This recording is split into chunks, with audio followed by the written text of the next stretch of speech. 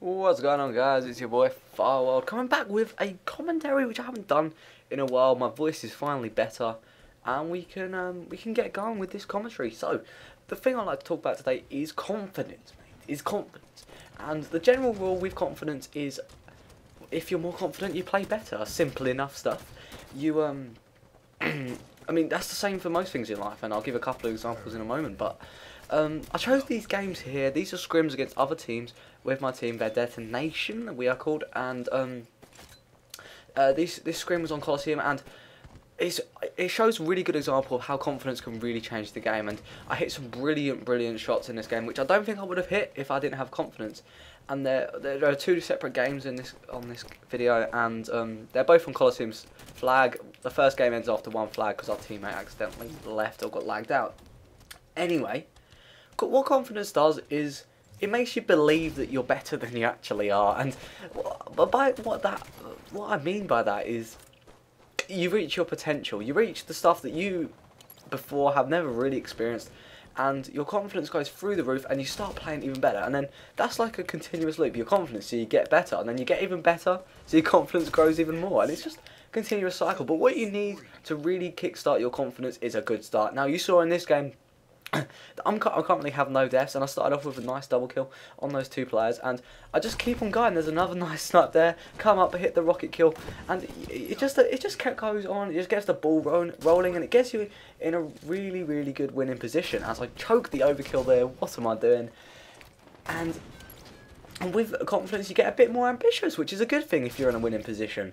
And you, you can try something that you don't norm you wouldn't normally go for a nice nose scope across the map, perhaps, or even like there, just checking the spawners. I don't I don't know why I don't do that more often, but when you just get a bit of confidence with it, you just turn into an absolute god.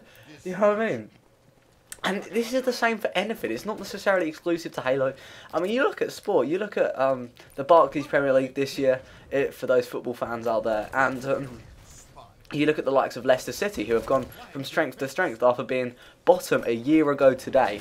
They were bottom of the league, but now they're top of the league by five points.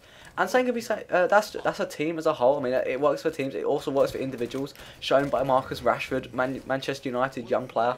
He's came came out of nowhere and gets and scored a goal in the derby and to win Manchester United the, the, the game against Manchester City. Now, I'm not here to talk about football, but you can you can tell how you, guys can all relate to it. when you've had confidence, you just do better and better. So, uh, what I feel when I get confident, uh, I feel that I, go into some. It's it's going to be extremely difficult to explain, but I go into some sort of innate state where I genuinely think I can actually do anything, and I feel that. I feel that when when this comes along, my mind is totally focused on the game, and I've reached this point where nothing, nothing can distract me, and my eyes are just, I'm just solidified onto it, and that's when you start playing as it were, playing out of your mind. That is literally the point where you are so immersed in this game that it's just, it seems surreal, and you get a real, real burst of energy, and that allows you to just go, just play to your full potential. I, I don't know about you, but my brain sort of, it feels like my brain goes into overdrive. It's a cringy term, but that's literally how it feels. It feels that I'm now able, with confidence, to play at a higher level. It, it means that average players can be become good players, and this is what happens to me.